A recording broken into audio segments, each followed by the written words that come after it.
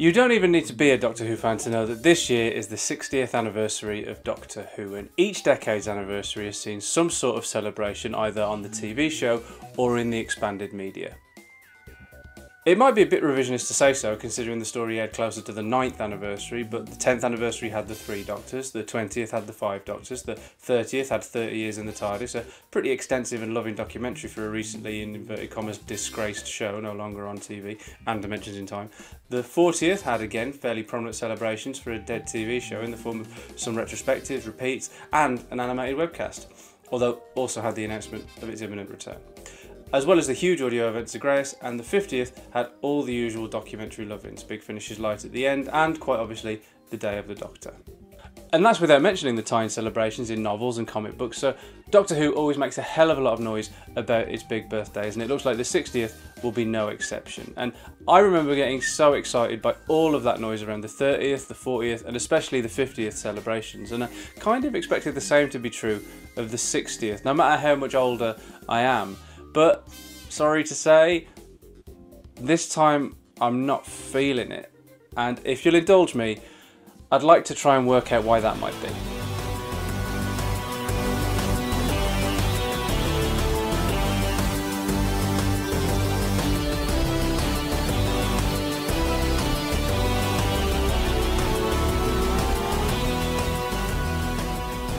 Because I don't think it's an age thing.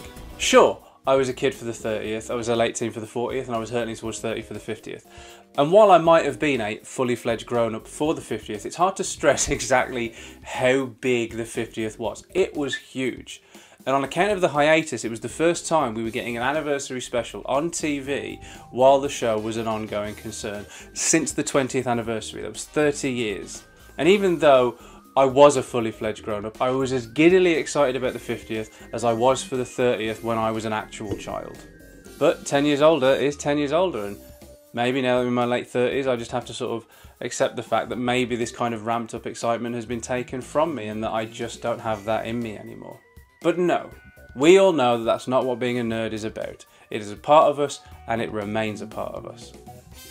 Besides, how I reacted to certain parts of The Power of the Doctor and how I found myself in the run up to Avengers Infinity War, not to mention being really quite excited for Ncuti's new Doctor, has shown me that I am still capable of being that hyped up fanboy even though I might be pushing 40. It's just, I'm not feeling it for the 60th anniversary of Doctor Who. And I should be. My favourite show, which has been my favourite show for over 30 years, is about to celebrate a massive jubilee with returning showrunner, returning doctor, returning companion, and a considerable injection of marketing and a shot in the arm of fan and public enthusiasm and goodwill. So, why aren't I getting swept up in it all? Why aren't I chomping at the bit to get to November to find out why the 14th Doctor has got the same face as the 10th? And why am I not giddy with excitement at the prospect of sitting down to watch these 60th anniversary specials? Well, I've realised something.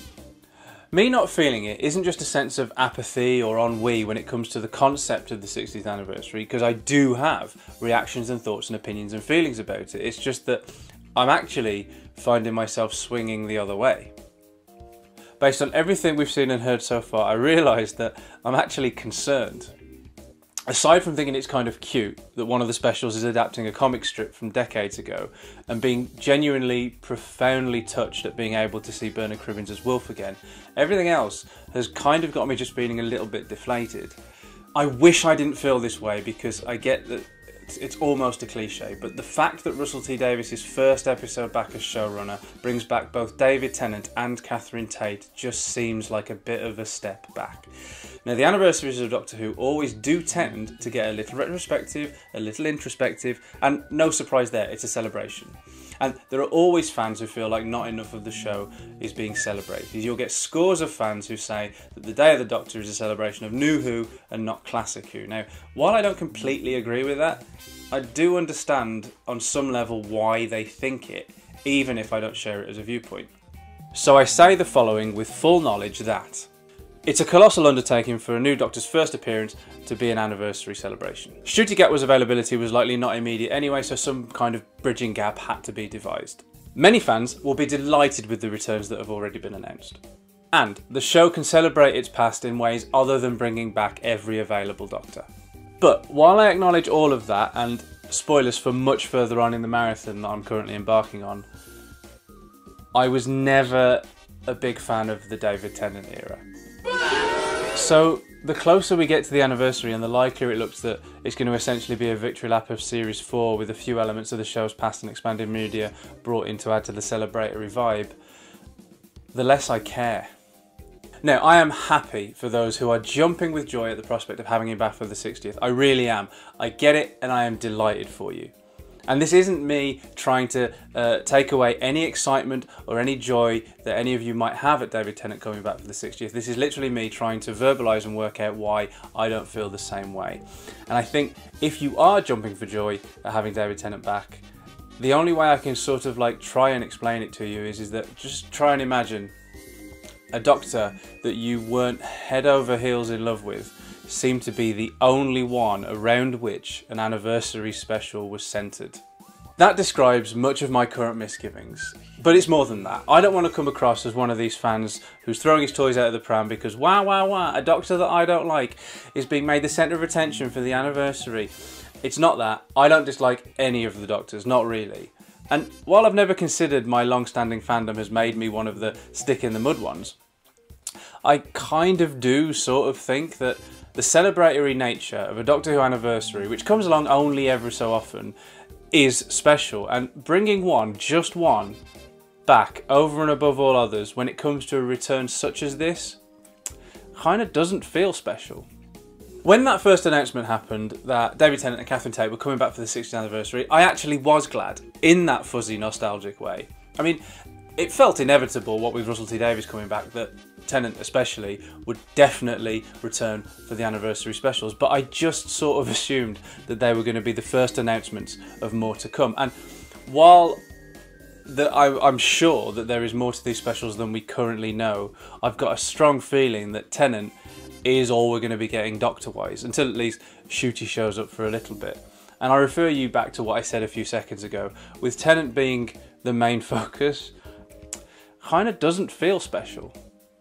Sure, the Power of the Doctor did scratch a classic Doctor itch, but I'm wondering whether I only think that because I've talked myself into thinking that I think it, because it kind of didn't. I mean, lovely to see them again, of course, but like the, the screen time felt perfect for teeing up a subsequent appearance should the story call for it. And yeah, maybe the story doesn't call for it, and yet maybe it's a chance to do something different than simply wheeling out old doctors to celebrate an anniversary. But I think this is how I prove to myself that I am not one of those stick in the mud fans. Because, well, yeah, of course, I am a sucker for a big multi doctor epic. Let's say the specials uh, celebrated the past and the legacy in different ways than simply wheeling out another multi-doctor epic. Well, yeah, I would be slightly a tiny, tiny, tiny, tiny little bit disappointed. I would be willing uh, to trust in what was to come. Except with this, a past Doctor is being brought back, and I'm just not keen on it being just one. Because it smacks of favouritism, and regardless of what you think, I actually don't think that the show itself should play favourites. And in terms of what story calls for, Russell's never really been one to let that get in the way of doing what he wants to do, whatever that is, for better or for worse. For example, there's really no reason for Captain Jack to come back at the end of Series 3. And if I think about it, it's actually a little bit clunky getting him back at the start of Utopia, but Russell wanted Captain Jack back. And he also wants David Tennant back, so he's the 14th Doctor. And let me stress, that is fine, the man is in charge, He's a lauded writer, he's very, very capable, he's in charge, he can do whatever he wants to do and whatever he thinks is best. And I don't doubt that there will be an explanation as to why the 14th Doctor has the same face as the 10th. It's just that now that I'm getting into it, and if I actually look a little bit deeper, I think I'm also worried about the quality of that explanation in story. But you can probably tell my biggest worry at the moment is that this could all just be a rehash of Series 4, and Series 4 in particular. Now, I, that probably does make me sound like a stick in the mud, and I know full well how popular Russell, David, and Catherine all were together, like the new Who Dream Team. But me, I get that Doctor Who referencing and revisiting even its past in the context of an anniversary special is pretty much expected. It's just that taking one tiny slither of its life one year out of 60 and focusing on it to the extent that these specials seem to be doing, regardless of what other elements of Doctor Who's past they incorporate, it all just feels too insular. So, like, there's the rumblings of Bonnie Langford as Mel coming back. There's uh, the use of Beep the Meep from the comic strips of yore, and there's the fact that we know next to nothing about the second special. But they are all still led by Tennant and Tate, and I'm finding it a struggle to get on board with it all as a result. The aborted 30th anniversary special, The Dark Dimension, would have given a prominent role to Tom Baker, which I have no doubt the public and a lot of fans would have absolutely loved to see, to the point where that may have been enough for them to enjoy the thing, but it would have been at the expense of every other living Doctor. Unlike other Doctors showing up in cameos in, say, Jodie's Swan Song, which is very obviously Jodie's episode, relegating other past Doctors um, and current in Sylvester's case with Dark Dimension, in favour of a larger role for another past Doctor, didn't feel right. While I do like Tom's Doctor an awful lot, I stand by what I said about the 60th. It would have been a mistake for the 30th to do that, and so with the favouring of Tennant, it does feel like the mistake that was averted with the Dark Dimension is actually being made by the 60th. That probably sounds hyperbolic, and I'm a reasonable, level headed man who's probably not coming across as either reasonable or level headed in this video. The fact is, it's just a TV show that's about to celebrate a milestone by bringing back two of its most popular leading figures for a celebration. And as far as we know, it's not relegating other doctors in favour of David, but as far as we know, it is favouring David by it being only him. After a rocky period, which, however you feel about it, and I'm no Chibnall Whittaker era hater by any means, wasn't universally beloved by everybody, then I can kind of see that it makes business sense to revisit a time when the show was riding so very high. And in addition to that, TV shows rely on scheduling and other boring factors that have to be taken into consideration beyond creative imagination. Steven Moffat said that when he started planning the 50th anniversary, uh, the only main cast member that he had contracted was Jenna Coleman, and he even had to go so far as to concocting a contingency plan which celebrated the show's legacy without including any of the doctors. While that's obviously far from ideal, I have to admit to being a little bit curious as to how that could have worked. So yes, one doctor, whoever it is, is better than no doctors at all. And maybe the, maybe David Tennant as the Doctor in the 6th anniversary special is the only way these could have been made. But just because I'm marginally less worried about the 60th than I would be if there was no doctors at all, doesn't mean I'm not a little bit worried about the 60th. Because whatever decisions have been made, whether out of desire or necessity, will have to be justified in story, and that is where my worries lie. Alongside the fact that if I'm actually honest, I don't think that having Tennant and only Tennant back was the only way to commemorate the anniversary. And all of this fails to mention the elephant in the room and why I was kind of cautious about making this video in the first place, and that is none of us have seen the specials yet at all. And I'm fully prepared for the fact that they could be stone cold brilliant. The explanation for the 14th Doctor's face could be extraordinary. The regifting of Donna's memories while finding a way not to kill her could be inspired. And David Tennant could even be playing the 14th Doctor as completely different and not just 10 in a new outfit. So I am prepared for the fact that I could be pleasantly surprised. Although I would put money on it just being 10 in a new outfit. Ooh, you're hard showing off. But hoping to be pleasantly surprised with five months to go is not where I wanted to be when it comes to the 60th anniversary specials of Doctor Who. And if this video has a point, I guess it's that. I want to be pumped, hyped, excited. And if you are, like I say, I'm happy for you, but I am also insanely jealous. This is compounded by the fact that, as with the 40th and the 50th, uh, Big Finish are doing their own special story for the 60th. Uh, unlike Zagreus and The Light at the End, which released in November's 2003 and 2013 respectively, this is actually uh, split up uh, uh, over a couple of months throughout the year. So it has already started. We have uh, heard the first one, and the second one may have even dropped by the time this video goes out, which means, uh, as with Zagreus being a brand new story in the absence of Doctor Who being on television at the time for the 40th, uh, Once and Future could serve to get me stoked and hyped up for the 60th anniversary if I'm not currently feeling excited by what we know about the progress of the TV episodes.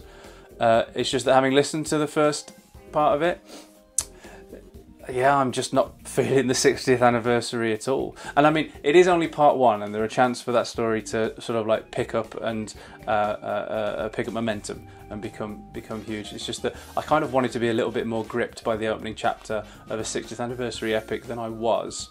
So, as well as not feeling it on the TV, I now also have a little bit of worry when it comes to the big finish side of the anniversary as well. So, God, maybe I am just a, maybe I'm just a miserable old man now. But there is time for all that to change, both with Big Finish and with the TV episodes. The more we find out about them as the year goes on, and I really hope it does change as well, because uh, it seems strange to have been more hyped for the 30th and the 40th anniversaries than I am for this one when it wasn't even on TV. I just want that kid at Christmas excitement that Doctor Who brings out in me and should bring out in me when it comes to big anniversary specials. And naturally, I'll keep you updated with how I'm progressing with that. As always, thank you so much for watching. If you enjoyed, which might be too strong a term, my expression of trepidation, which might be too weak a term, maybe descent into middle-aged grump is more accurate. If you enjoyed this video, please hit the like thumb, it really does help the channel no end. And what do you think about the upcoming 60th anniversary shenanigans? Do you share any of my concerns or are you more excited for it than you've ever been before? Is it normal to be this nervous or am I just being very silly indeed and should stop being one of those whiny fans that I promised myself I would never be? Let me know respectfully in the comments below and I'll be back here soon continuing my ongoing Doctor Who marathon as well as sharing my own personal rankings of various Doctor Who anniversary specials from the past. So if you don't want to miss that, hit the subscribe button, clang the cloister bell and I'll see you soon. Thank you so much.